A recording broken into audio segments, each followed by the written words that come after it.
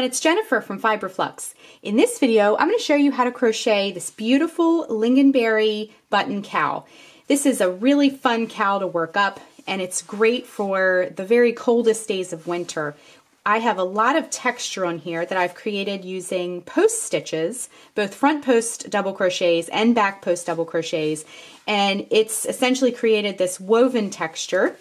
And I also added some really pretty stripes. So you can see on here that when the colors transition from one color to the next in all these beautiful shades of purple, uh, you can really see the stitches. That really shows off the stitches. And um, again, I've used shades of purple. So this more muted purple, this brighter, more fuchsia color, and this really dark purple as well. And to keep the cowl closed, I've added a lovely little wooden button to the bottom. So let's get started. For this project, you'll need a 10 millimeter P crochet hook. You'll need a ruler or a tape measure. Um, it's, it's optional just to help you measure as you go along. You'll need a large button. Now I'm going to be using a button that's one and a half inches wide. You want to make sure it's fairly big because you'll want it to accommodate this very bulky, uh, thick piece that we're going to be making. So you'll want to make sure that it can pass through. You'll do a little test uh, just to slip it through. We're going to be using the spaces in between these stitches as buttonholes. So you want to make sure that it passes through. If your button is too small, on the other hand, uh, it can fall through and not really be effective to hold the piece together while you wear it. You'll also need a tapestry needle and you'll want one that's pretty big to accommodate the super bulky yarn and also a pair of scissors. The yarn that we're going to be using is um, super bulky yarn and I use 2.5 balls of Wool Ease Thick and Quick. Now I use three different colors for mine and you can see with these particular post stitches that we're going to be doing uh, it really shows off the stitches when you use multiple colors. If you only want to use two colors, that's fine. If you want to make it solid colors, that's fine as well. But I'm going to be using um, super bulky yarn. So if you want to substitute, just look for um, the six on the back of the yarn label on the yarn weight scale, the super bulky six. Now for the finished piece over here, I used one ball of raspberry, this color here, one ball of fig, and a half a ball of the eggplant. It's a very dark purple. So kind of tones of the purple family for this one. For the uh, project that we'll be making today together, I picked some winter shades. So this color here is called Glacier. I'm going to use a ball of that and a ball of barley. That is one of the um, the tweeds. And then for the half ball, I'll be using, this is called Fisherman, and I happen to have a little bit left over from another project, so worked out perfectly. So we're going to be using kind of these wintry shades for the one we'll be making today. Our finished cowl has a width of 14 inches wide and a length of about 28 inches long. However, there's no special stitch count for this cowl. Uh, you can make it as wide as you'd like it to be, and you can make it as long as you'd like it to be simply by working more rows of the pattern. Okay, so I wanted to point out before we get started that uh, for the color sequence of this, we're going to be repeating uh, two rows over and over and over to get this kind of woven look with the post stitches. But for the colors themselves, I did uh, two rows of the eggplant, six rows of the fig and six rows of the raspberry, and then I just went ahead and repeated that over and over for the colors. Uh, so what we can do with these three colors is um, do six rows of one color, six rows of another color, and two rows of another color. Now, depending on what you have on hand, because this is such a great kind of stash busting project, uh, if you need to switch up the uh, number of rows you're doing based on the amount of yarn you have, definitely feel free to do that. But, um, you know, just if you're wondering about this particular sequence. And I will say that if you use more than one color, it really does look very neat and kind of stitchy when uh, the colors change. So it is a really fun pattern to play around with colors. Okay, so I'm going to start with this barley yarn partly because I love this yarn. It's so pretty and uh, nice for winter, but also it shows up nicely too, so you can see all the stitches happening. So what we're going to do is put a slip knot on our hook to begin. So wrap the yarn around your fingers to make a loop, bring the yarn behind the loop, reach in with your hook, bring up the loop, and tighten. Now our cowl has a starting chain of 30. So to make a chain, wrap the yarn around the hook and bring it through the loop. That's one, two, three, four, five, six, seven, eight, nine, 10, 11, 12, 13, 14, 15, 16, 17, 18, 19, and twenty, twenty-one, twenty-two, twenty-three, twenty-four. 21, 22, 23, 24, 25, 26, 27, 28, 29, and 30. I wanted to point out some of you ask me um, frequently about your starting chain, that it's too tight, that you make your starting chain too tight. If you are having a problem with this, go up a hook size for the starting chain only and then switch back to this uh, 10 millimeter P hook for the remainder of your project. And that helps a lot if you need to do that. If your chain is too tight, it can kind of draw in the bottom of your project a little bit. Okay, so for row one, what we're gonna do is count the third chain in. Now this loop here does not count. So we're gonna count one, two, three. So in the third chain from the hook, we're gonna work a double crochet. To make a double crochet, wrap yarn around hook, insert the hook into the chain, bring up a loop. You'll have three loops on your hook. Wrap yarn around hook, bring through the first two loops, wrap yarn around hook, bring it through the last two loops. I wanted to point out as a side note, when you use some of the Tweedy yarn, you might get some uh, little pieces that are unique to the tweed. So that's okay. You might just get a little shedding and have to uh, dust off once in a while. So we did a double crochet in the third chain from the hook. Now we're going to work a double crochet in each chain all the way across. So work a double crochet in the next chain, double crochet in the next chain, all the way across to the very end. This is going to kind of set the stage for the next two rows where we will be working our post stitches and creating all that really thick, wonderful texture.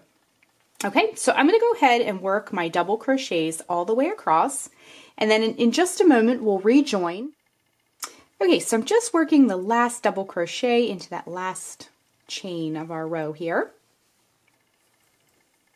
Okay, so row one will look like this.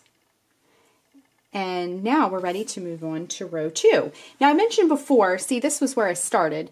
So this is two rows of our first color and then six rows and so forth. So we're going to work one more row of this barley before switching colors. And I'm going to show you how to switch colors as well. Okay, so let's move on to row two of our pattern. So chain three, one, two, three, and turn our work. Now we're going to be working post stitches for the remainder of our pattern.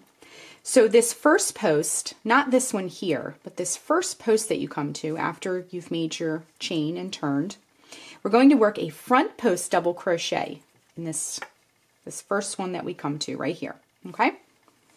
So what we're going to do, it's worked very, if you're not familiar with this stitch, let me get a little bit of yarn to get us going here.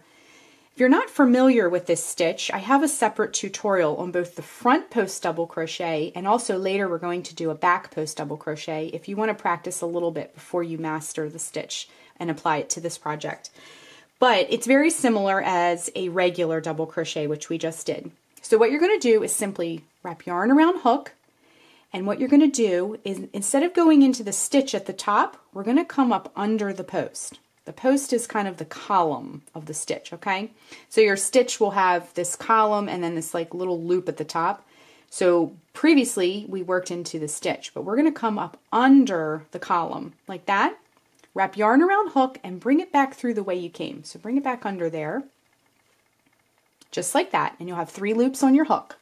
Now wrap yarn around hook and bring it through the first two loops on your hook and wrap yarn around hook and bring it through the last two loops of your hook. That is the front post double crochet. And see how it creates this like long continuous column? And it also, if we look at it on the side, gives a little bit of dimension. It's a little less flat than regular double crochet stitches. Okay, so work a front post double crochet into that first double crochet you come to. Then we're going to work a back post double crochet. We're going to be alternating these two stitches.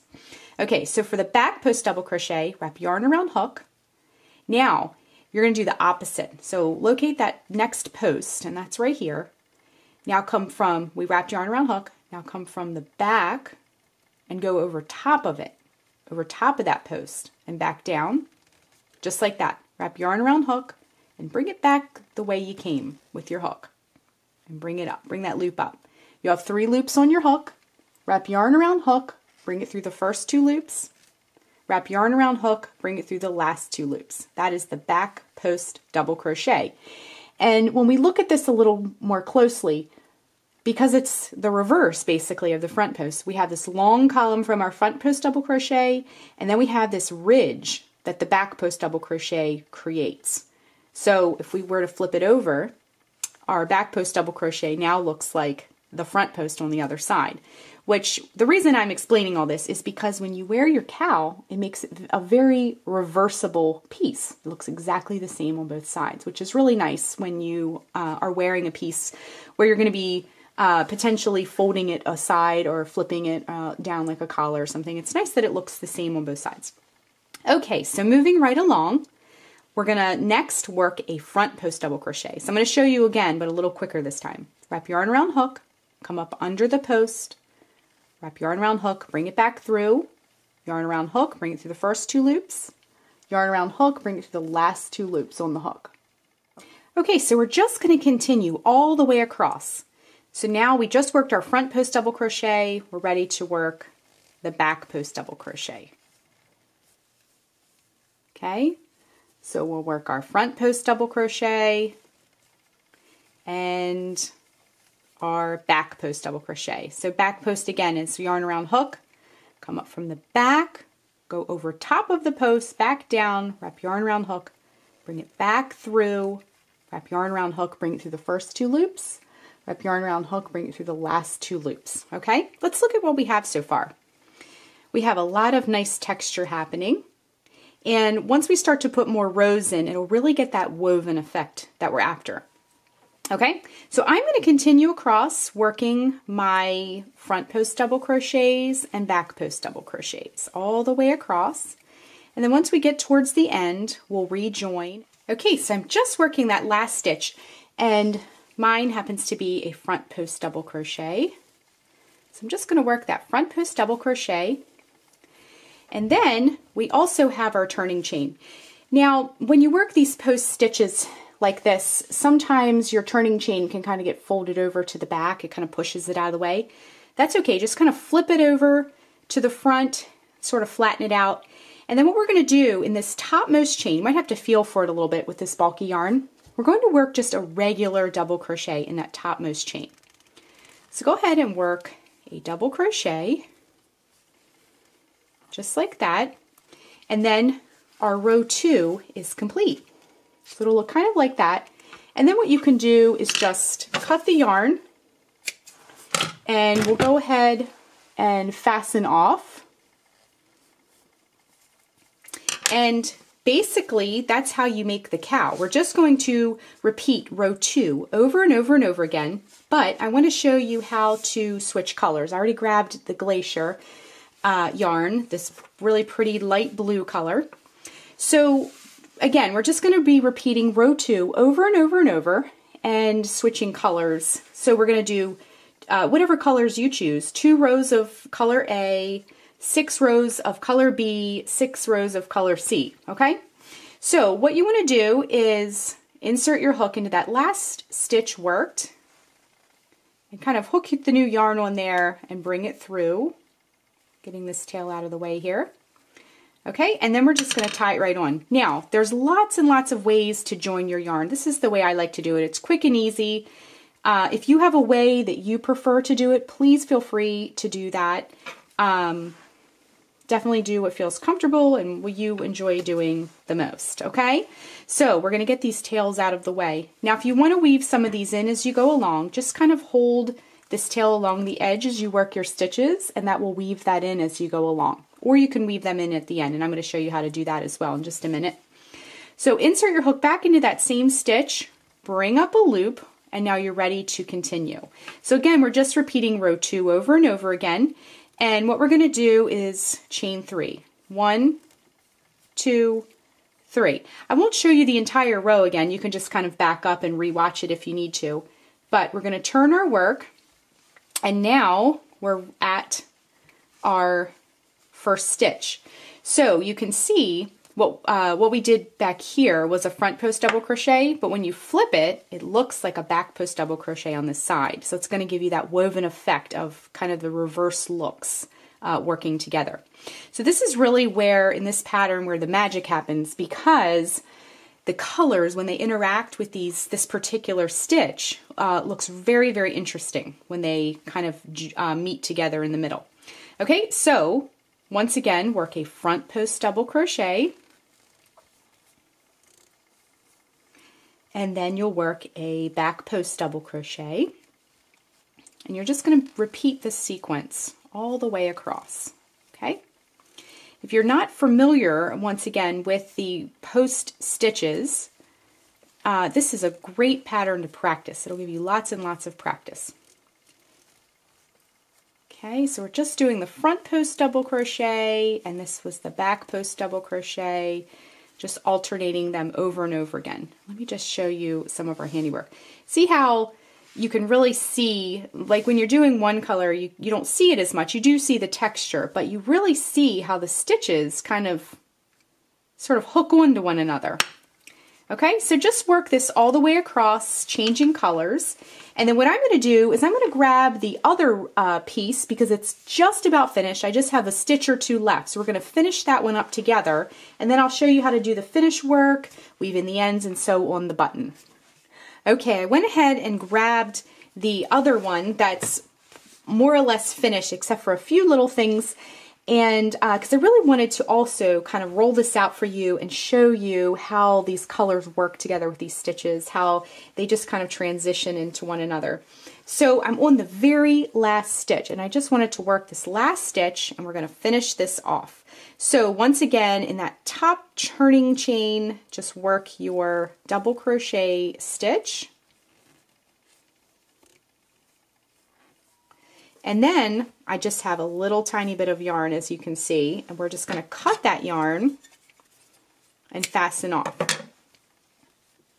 Now if you were very diligent and wove your ends in as you went along you're going to have a lot less work than me but I have all these ends that I have to weave in. Now I'm not going to show you how to weave in every single end on this video because once you have seen one end you'll know how to do the rest of them but I do want to point out something important about weaving in ends on your striped projects. So what you want to do is grab your tapestry needle and like I mentioned at the beginning of the video, you want to make sure it's a large one to accommodate this bulky yarn. Give the yarn a little bit of a twist to help send it through the eye of the needle and thread.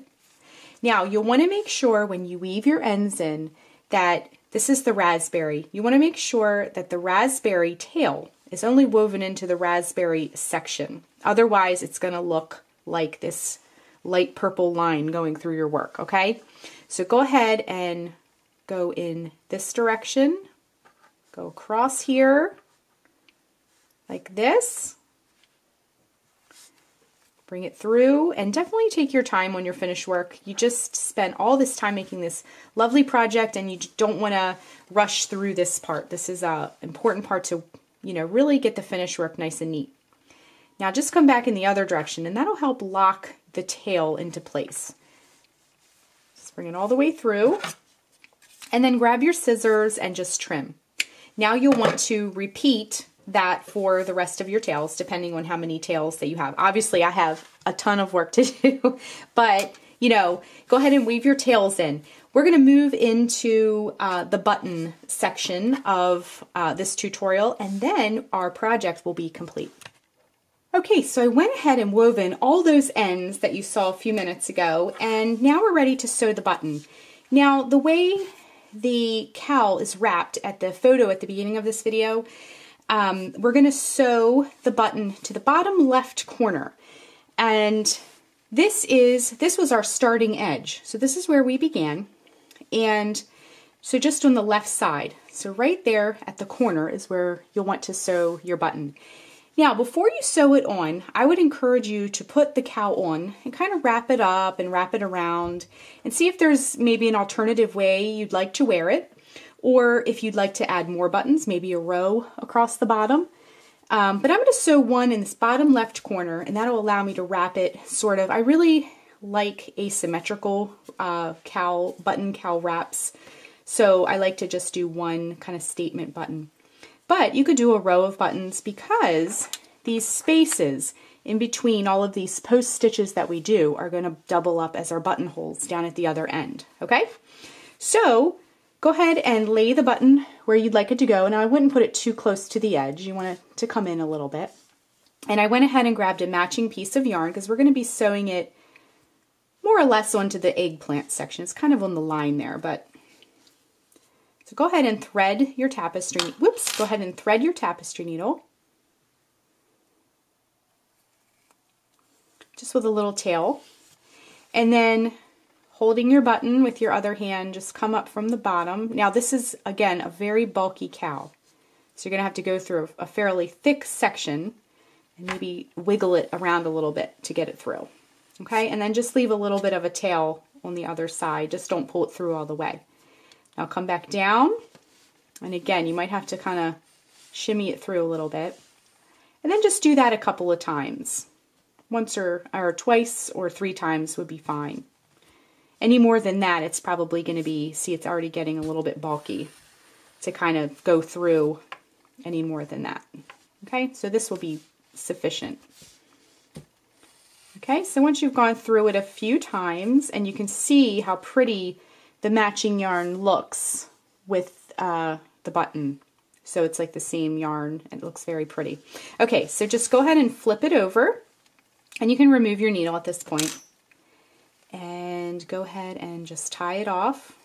Tie a couple of knots. I like to do at least three. But any more than that, the knot is going to look really bumpy. Okay? So then what you can do is weave those in, ends in as well, doing the same thing that we did when we wove our ends in on the project earlier.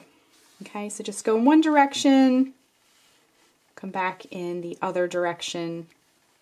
Now you can simply, because this is the back technically, even though this fabric that we've created with our crochet is reversible, uh, the, this is um, technically the back because it's the back of your button.